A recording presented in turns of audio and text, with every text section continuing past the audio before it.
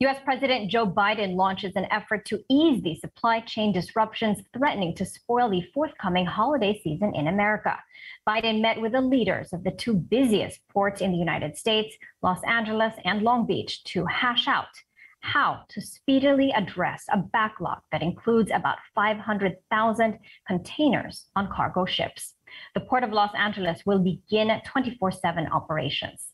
Several shippers and retailers have announced that they too will take steps to move toward longer operating hours. This is the first key step toward moving our entire freight, transportation, and logistical supply chain nationwide to a 24 7 system.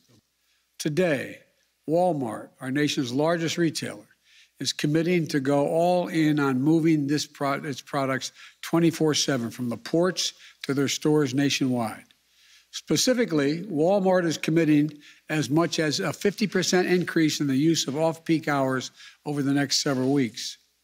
Additionally, FedEx and UPS, two of our nation's biggest freight movers, are committing today to significantly increase the amount of goods they're moving at night. Tech giant Apple is the latest company to be affected by chain disruptions. They're likely to cut the production of their iPhone 13 by as many as 10 million units due to a global chip shortage.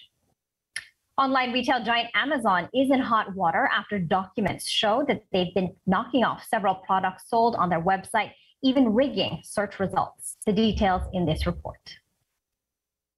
Amazon.com has repeatedly been accused of knocking off the products of sellers in its marketplace and rigging search results, an exploitation of its vast trove of data to promote its own merchandise at the expense of other sellers.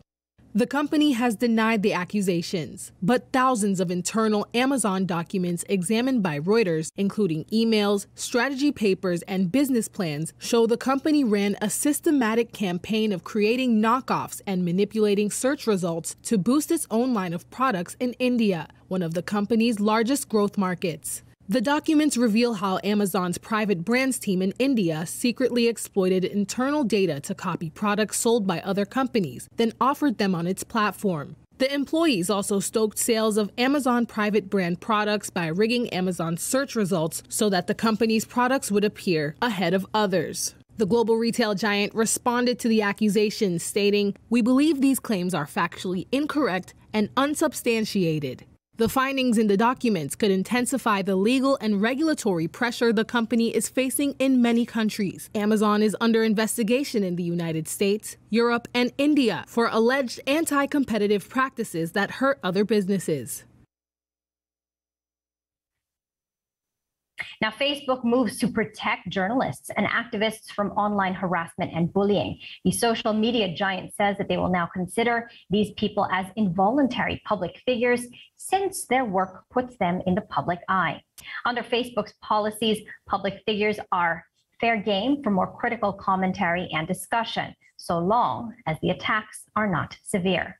But for private individuals and involuntary public figures, the company's protections go further. The policy update comes as Facebook faces increasing scrutiny from global lawmakers and regulators for the way they moderate their content. Facebook's latest controversy includes internal documents which were leaked by a whistleblower claiming Facebook prioritizes profit over the safety of their users. This was the basis for last week's U.S. Senate hearing involving the tech giant.